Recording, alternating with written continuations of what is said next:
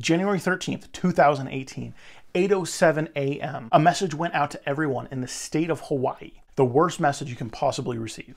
Not a dear John. No. Ballistic missiles are incoming. This is not a drill. Take cover.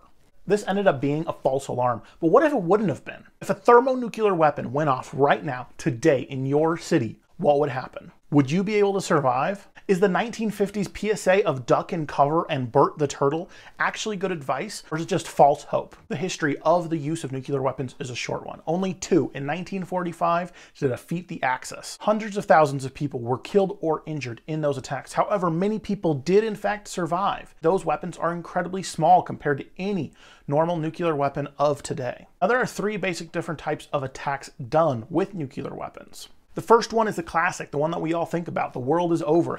Thermonuclear warfare, complete strategic bombings, 1,600 missiles coming from Russia, 1,600 missiles coming from the United States, hundreds more from submarines and dropped from airplanes.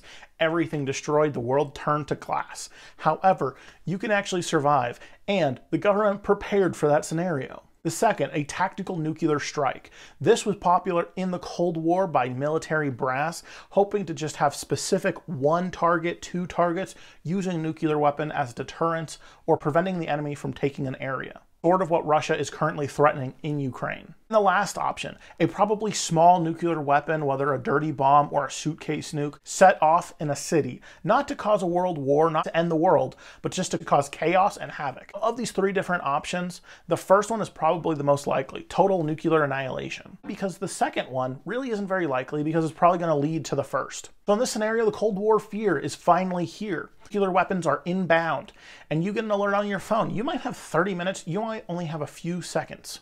It all just depends on if that nuclear weapon is coming from the Russian steppe or a submarine off the coast. The first thing you want to do, if you have any time, is get inside.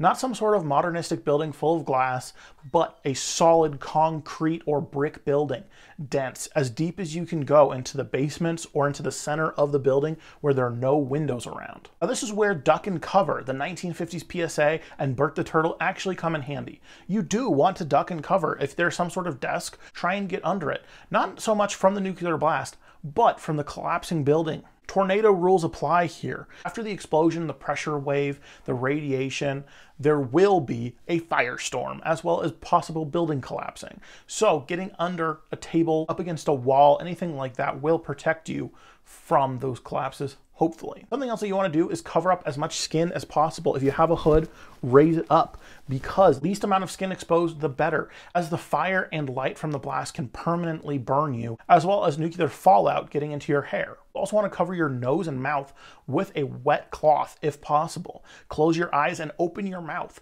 This will help prevent overpressurization that would burst your eardrums.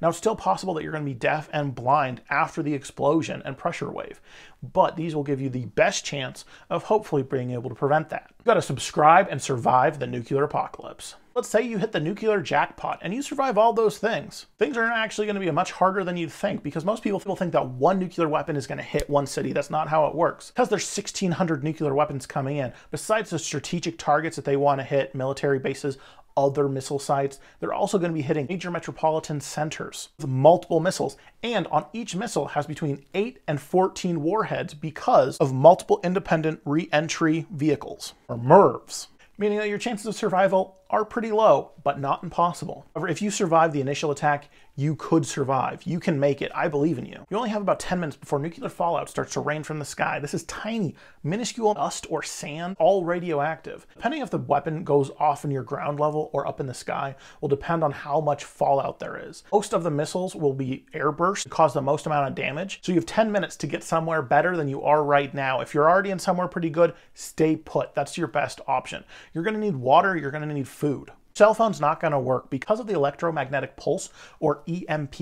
It's going to destroy basically all electronics. Basic radios and hand crank radios do survive probably just because of how basic the technology inside them is. Now, when we're talking about water, bottled water or anything that isn't open to the elements is best because if it's been exposed to air, it would have been filled with nuclear radioactive fallout. Bottled waters, water heaters, the tank behind the toilet are all places that you can find water unexpectedly. However, you can also do something similar that they would do in any kind of natural disaster. Filling up your bathtub, if you have big plastic totes from Walmart, like basically everybody I know, you fill those up with water, anything you can do, because the pipes underground will be safe for a short time period until they become contaminated from broken pipes or from the water source in the aquifer that would be contaminated. Next, you're going to want to slowly take off all your clothes, anyone around you as well. Clothing prevents up to 90% of radioactive contamination.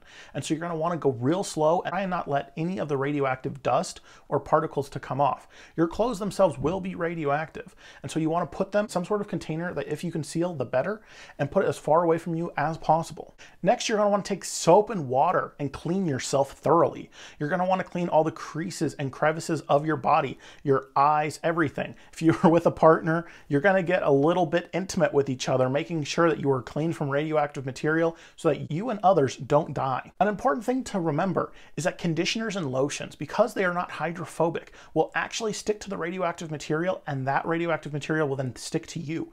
Do not use any kind of conditioners or lotions. None of that two-in-one shampoos, boys, not today. You don't want to scratch your skin at all because the radioactive dust can get inside and your skin is a great protective layer. So don't try and do any of that exfoliating. Baby wipes or paper towels with water would work in a cinch. I would imagine urine as well, but I have no evidence to find that. I couldn't find anywhere, but I imagine that would be better than just letting radioactive material sit on your skin. The nuclear apocalypse is not a time to feel icky. Next, you're going to want to cover all your doors, your vents, your windows with plastic, with duct tape. Try and fully seal that in. Because this radioactive dust is dust, it can pick up and it can go into your shelter. Next, you're going to want to stay inside. You're going to want to stay inside as long as you possibly can. Half-life of fallout is actually really short. The first 24 to 48 hours, depending on the type of fallout that we're dealing with, could be reduced by 80%. However, the longer you wait, the better, because even 80%, even 99% reductions in radioactive fallout can still kill you. Your best case scenario is at least two weeks,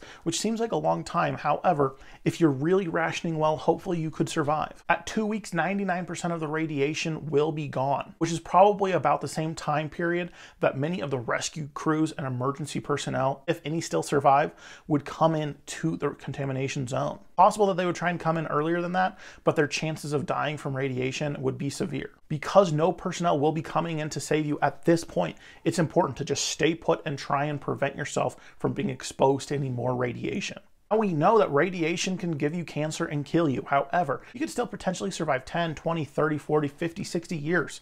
Many of the people from the Hiroshima and Nagasaki bombings still survived and lived into their 90s and 100s even. So it's still possible to live a full and awesome life post-nuclear apocalypse. So don't give up. Something that's kind of weird is the first organizations from the government that will be back up and ready is going to be the post office and the IRS. The post office because they know exactly where you live. And so they're going to go door to door figuring out who's still alive and seeing if they can reconnect people with their families. And the IRS because they have an entire system to determine tax liability of your nuclear damaged home. As Benjamin Franklin said, nothing is sure but death and taxes. Good luck, survivors. You can do it. This video isn't to scare you. It's just to make you kind of think a little bit. This is things that people were thinking about during the Cold War. While less than 1% of the American population ever built an actual bomb shelter, while it seems like it's almost impossible to be able to survive something like the nuclear apocalypse, during the Cold War, the US government did many studies to show that you could actually survive the nuclear apocalypse.